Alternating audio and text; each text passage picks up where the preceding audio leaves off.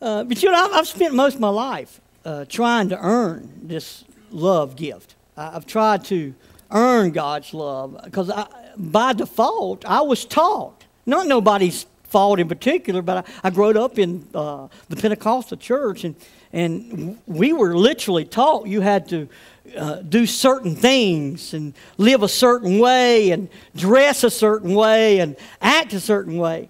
I'm going to tell you, some of you may not can wrap your eyes. I see some younger people around here, but when, when I went to school, I wasn't even allowed to wear shorts.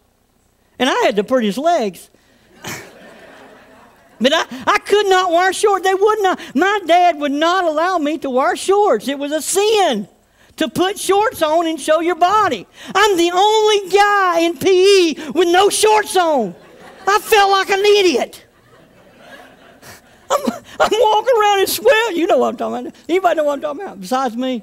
Yeah, there's a younger crowd in here, but I, I, had to walk around with gym, uh, these, what do you call them, sweatpants. I had to go all the way to. And I, when I got to school, I'd pull them up. Got you, Dad. you know, but we weren't allowed to do anything. It was it's just that way. We, we had not ever grabbed a hold of God. God loved me with, with my pretty legs and everything. he loved me. You know, we, I couldn't go to ball games. I, I couldn't uh, uh, go to the movies. Lord Jesus, if you went to a movie, you weren't going to heaven, buddy. You just wasn't doing that. That, that wasn't part of it. That was out of your life. You, you, you, God stopped loving you the very moment you walked in. So we didn't do that.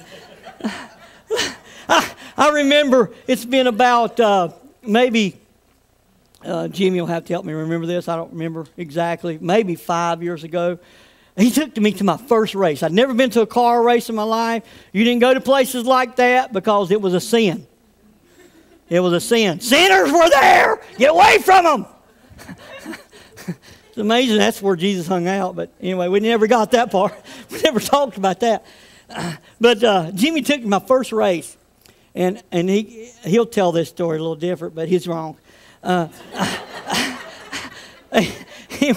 I uh, I got sick, and I I stayed sick a, a little while there, and he, I uh, he'll nod his head. He knows it's true. I got sick, but you know why I got sick? Really, I, really, I got I got to think about why I really got sick. But I got to thinking about, you know, if my dad knew I was here.